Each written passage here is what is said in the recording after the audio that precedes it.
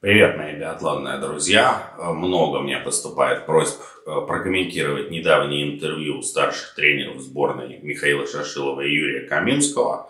К этому вопросу мы вернемся завтра в, нам, в рамках нашего традиционного еженедельного дайджеста.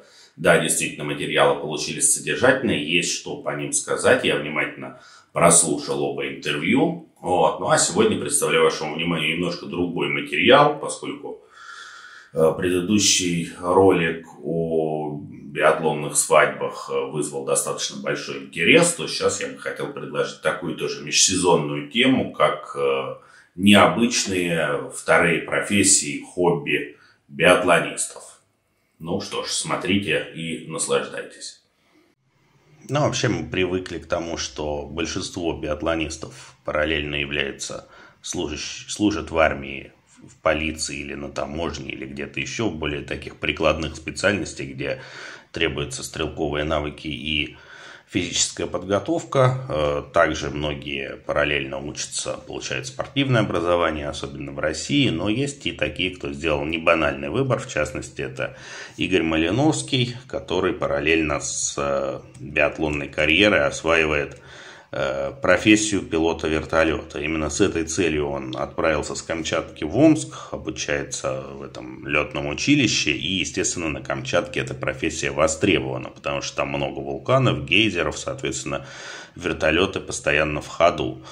А относится к своему образованию Игорь серьезно и совмещая с занятием биатлоном, все равно уделял много времени. То есть в какой-то момент даже приходилось сделать выбор, но пока до сих пор он не сделал. То есть летное дело чуть на втором плане, но, возможно, оно его ждет, если не сложится совсем в биатлоне. А э, пока последние годы после перехода во взрослый спорт у Игоря начались проблемы и в общем-то, он э, не показывает тех результатов, которые от него ждали. Взрослые нагрузки дались ему тяжело. И вот даже в конце прошлого сезона парень вынужден был его завершить досрочно. Пошли слухи о том, что он вообще закончит с биатлоном. Но, однако, Владимир Барнашов их опроверг и сказал, что к олимпийскому сезону Игорь готовиться будет.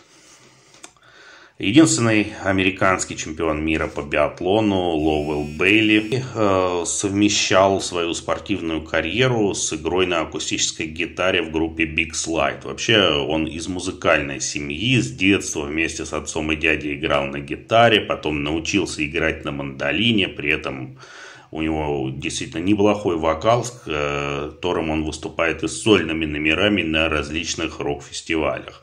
Ну и неоднократно на биатлонных вечеринках он также демонстрировал свои умения и сам исполнял песни и аккомпанировал э, Габриэле Саукаловой. Ну а, собственно, после завершения карьеры Лоуэлл решил сосредоточиться на музыкальной деятельности, больше уделять внимание этому своему хобби.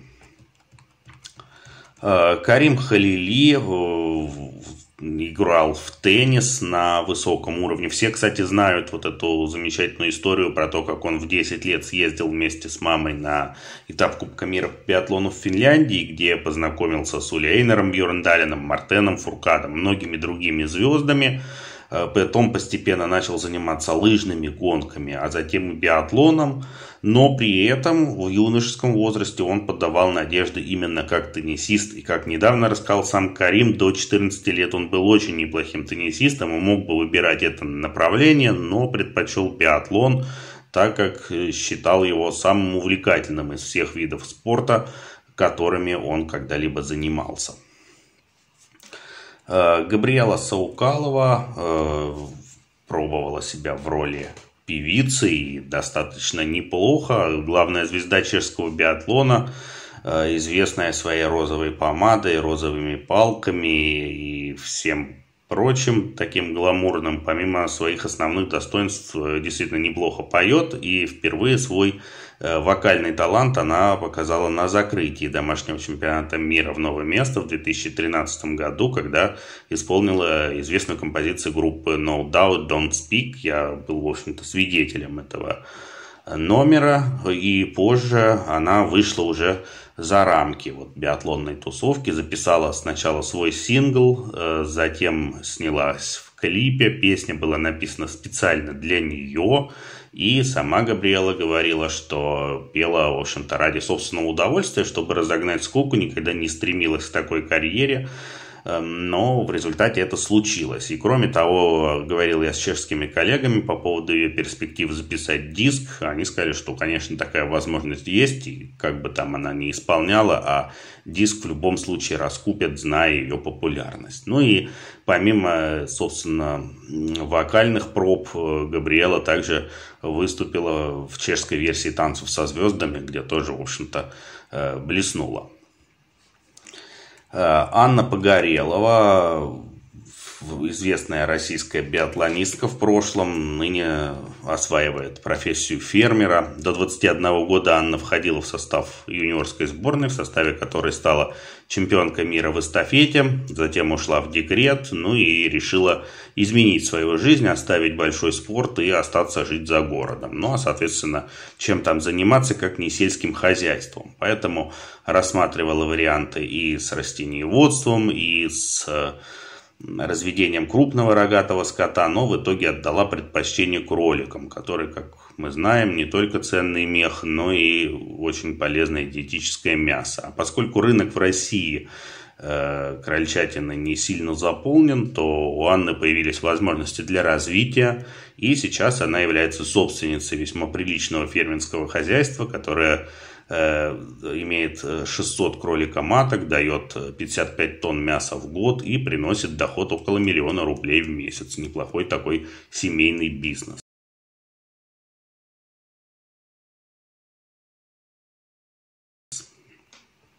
Чешский биатлонист Михаил Шлезингер, закончивший карьеру в прошлом сезоне, известен прежде всего как любитель экстремального спорта.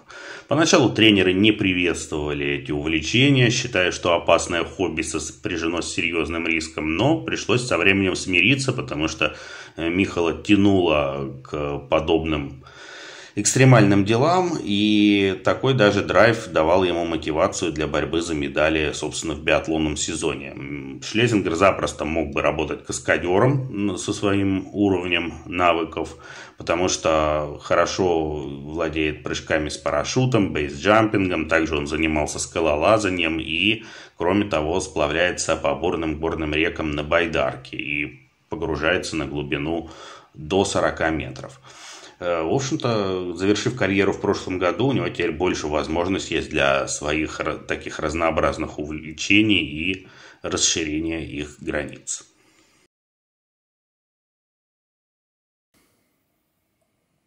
На этом у меня все. Ну а вы подписывайтесь на наш канал и не заходите на штрафные круги.